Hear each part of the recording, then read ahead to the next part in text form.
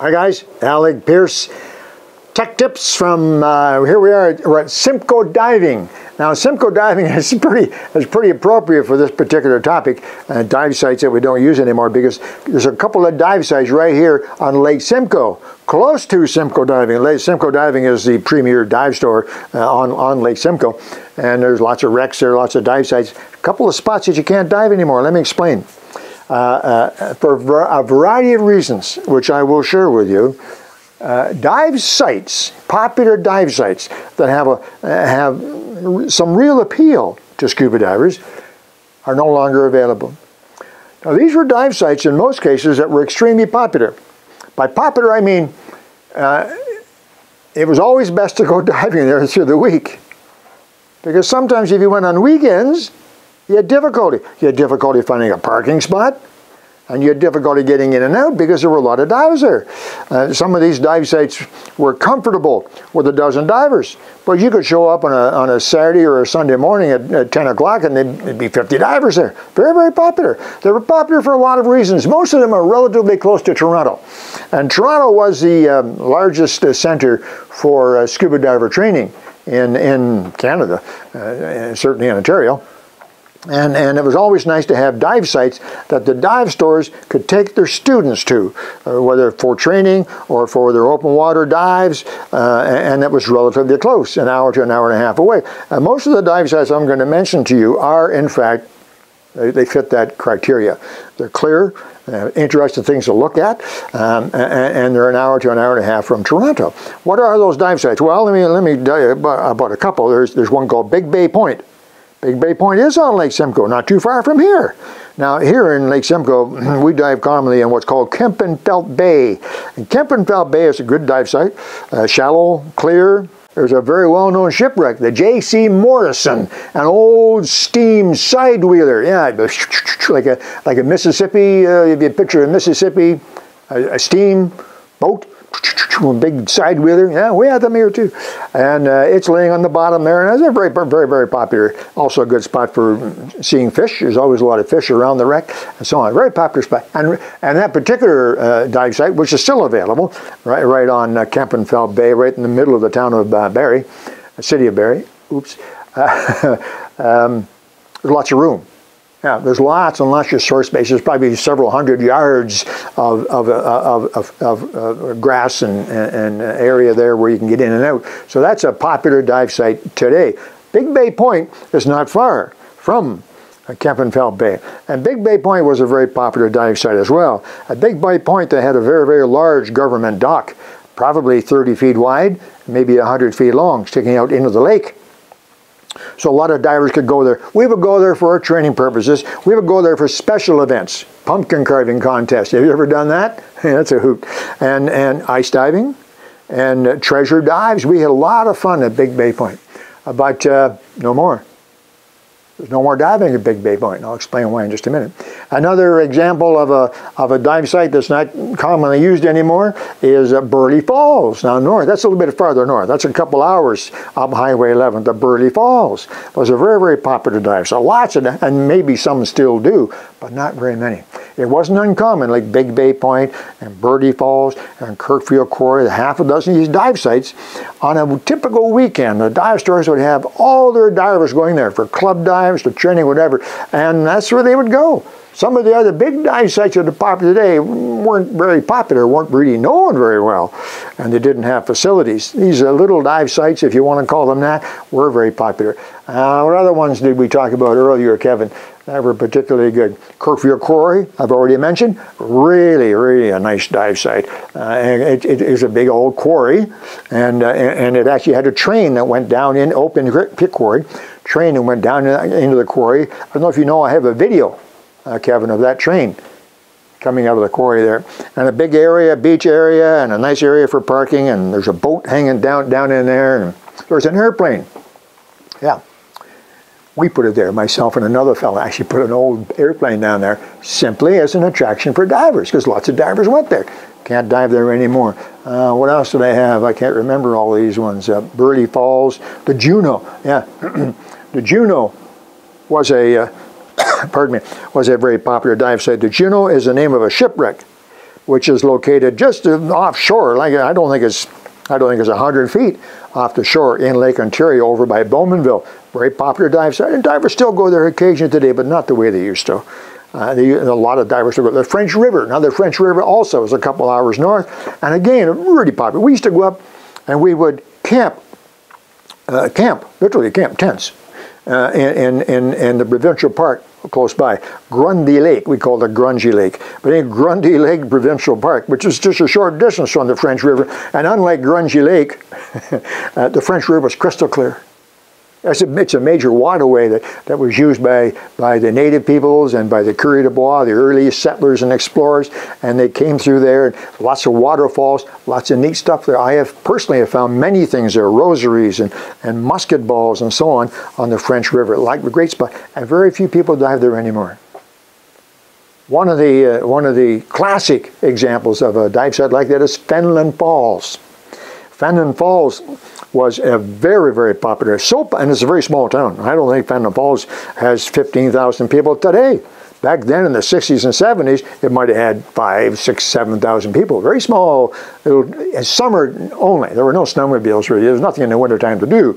Uh, but in the summertime, boy, on weekends it was crazy. There was a great big ice cream shop there. It make Baskin Robbins look, look look look pretty small. You could get anything in the summertime, and there were boaters and there were fishermen, and and they didn't have kite sailors back then, but there were water skiers. Oh, it was a great spot, and divers, lots and lots of divers. In fact, that little wee town, which is nowhere near any major center, had its own dive store with a compressor and equipment and everything else, simply there, only open in the summertime to service all the divers that went to Fenelon Falls. Today, very, very few go to Fenelon Falls. I'm going to talk about that one just for a moment. And Kevin's got some pictures. Fenelon Falls is, was, a, was a favorite of mine. Simple. It was exactly 13 miles from my hometown of Lindsay. I could get there easily. For many years in the early 60s when I went there, my mom would, my mom would, my mommy, my mom would drive me to Fenelon Falls. Yeah, I didn't have a driver's license. And it was kind of neat because I would get my scuba gear on. We didn't have any dive buddies. There were no dive buddies. I mean, I, I knew two other divers, but they lived in Peterborough, two hours away. They were, you know, and I was just a kid. I'd taken the course uh, at the YMCA, learned how to scuba dive, and I had some used gear I bought from my postman I know you're not going to believe this story, but every word is absolutely true. I can give you names and dates, and uh, and, and, then on on uh, usually on weekends, I would uh, uh my mom would drive me to Fenelon Falls. Yeah, I get my gear and I go scuba diving. Oh, it was neat. All the kids around, you know, the young kids. Like I was. Uh, 13, 14 years old, and not exactly old, and I had my knife, you know, a big knife strapped on. Kevin has a picture actually, and I'd be on the dock putting my gear on, and the little kids, you know, the five, six, seven, eight, they'd come over and stare at me Thank Are you a frog man, mister? Oh, yeah, yeah, yeah, I'm a frog man. Yeah. Uh, like Mike, a lot like Mike. Mike Nelson from Sea Hunt. Of course, there's my hero. So I was a frog man, like Mike, yeah. it was pretty exciting for a kid 12, 13, 14 years old. I drove there a lot. And mom would drive me, and she would put a garden chair on, on, by the edge of the dock and sit down, and she would knit. Yeah, and I had a, I had a little orange float. You can see it in the picture that Kevin's going to post a little orange float. And I would say to my mom, okay, mom, if, I'm going to pull this off. If I have a problem, I'm going to pull this off. If you see that orange float pop to the surface, you call the police. That was a little bit of a joke because at that time, the police didn't have any divers. If the police needed to search for something underwater, guess what? They called the under, they called the dive club, my dive club. And then a couple of our divers would go out and they would help them, you know, a couple of days later. Uh, so it was a bit of a joke. Fortunately, I never had any problems, and and uh, and my mom was fantastic. And then later, I got my driver's license, and I would uh, I would put on my wetsuit, and a jacket over it, and a pair of jeans. I put my tank on my back. Yeah, yeah, seriously. Get on my motorcycle, and I would drive to Fenelon Falls. My bike was pretty quick. It took me 10 minutes to get to Fenelon Falls. My scuba tank on my back. I mean, think about that. Didn't have a helmet, but I had my tank. Anyway, it was pretty funny. Thinking back, great spot to go diving. Now, the reason I mention all this is because I think it's important for divers to realize why sometimes dive sites are lost. Generally, not, not the only reason, but generally, the main reason why dive sites are lost is because of divers. That's right. And almost every one of the, of the uh, names that I've shared with you today, that is the reason. The divers simply were not well behaved. They were noisy. some cases they were drunk. In some cases, they parked on people's properties where they should not have. In some cases, they were rude to the people who, who lived in that area right close to the dive, used up all their parking spaces. Sometimes they left litter around. Basically, they were not well behaved. And, uh, and so what happened is over a period of time, people just got fed up and they would go to the local municipality, make a complaint, and a bylaw would be passed. You cannot dive at Big Bay Point. Simple. You can't. by law. You can't park at Big Bay Point anymore because the divers would fill the parking area up, make a mess, and then leave, and people complain. So there's no parking within a quarter of a mile of where we used to dive at Big Bay Point. So that's one example. Uh, there are other reasons. Kirkfield Quarry, a fun spot. Somebody bought the quarry and the land around it, and they're going to put a subdivision in there. They're working on it. It's going to take a while. But in, in, in the process of all that happening, they determined that scuba divers should no longer be allowed in. A bit of liability and a little bit, nah, they're a nuisance. We don't need them. So divers are now prohibited from uh, Kirkfield Quarry. And that same kind of scenario applies in many things. A little bit of that applies in Fenelon Falls. Unfortunately, in Fenelon Falls, one of the most popular dive areas in the province, uh, also suffered from inconsiderate divers. Let's just call them inconsiderate divers. They didn't realize at the time. They were just probably having a good time, but uh, they weren't thinking about the other people around them. And so Fenelon Falls, to some extent, has, has uh, turned off from divers, and they don't want divers. The people around there are just not interested. There are no laws against it, but it just is not as welcoming, welcoming as it used to be. What's at Fenelon Falls? Well, it was kind of neat because the water was clear. Now the water is also tea colored. It's clear water, but it has dye in it. That's a pretty common example in freshwater lakes. So if you're at the surface and you scoop up a little bit of water, it's pretty clean. It's pretty good, you know. But if you go down 20, or 25 feet, it gets black pitch black. Why? Because the light, sunlight cannot get through. If you take a light down and it's pitch black, but you put your light on, you can see just fine. Because the water is essentially pretty clear, just the sunlight doesn't get through. There's a little example here. A very good friend of, of mine, Mark, young guy, and he's just crazy about diving. I, I, think he dives every day of the year, as I used to a hundred years ago. And he's just crazy about diving. And and uh, a while ago, he asked me about a good spot to dive, and I mentioned Fenelon Falls. And he went to Fenelon Falls, following my directions, and found something pretty interesting. He found the train, the train wreck at Fenelon Falls. Now, uh, don't go crazy, okay? Uh, when, when years ago, when they talked about the train wreck at Fenelon Falls, and Kevin is showing you some pictures right now of, of Mark and some of his friends, and some really good video of the train wreck. We never had video like this. A lot, a lot of people, when they heard about the train wreck at Fenelon Falls, they pictured a great big steam engine, you know, choo-choo, woo-woo, sitting on the bottom of the channel. Now, I'm sorry. Uh, there's a couple of flat cars that sank they were wooden, most of the wood is gone, but the steel wheels and the bogie wheels are still there. And you can make them out. You can see the video right now. And then you can make them out. You can see the couplings and so on. But it's still pretty exciting. You can also see this, this dive is at about 50 feet. Not terribly deep, but you can also see it's very, very dark. Notice that when the light is not hitting the wreck, it's dark. Well, that's what I mean by dark water. But you can also see when the light is hitting the wreck, it's actually quite clear. That's what it's like diving in Fenelon Falls. It was a great area for training because, boy, if you could dive in that water, you could dive anywhere. And it was exciting, and it was close, easy to get to.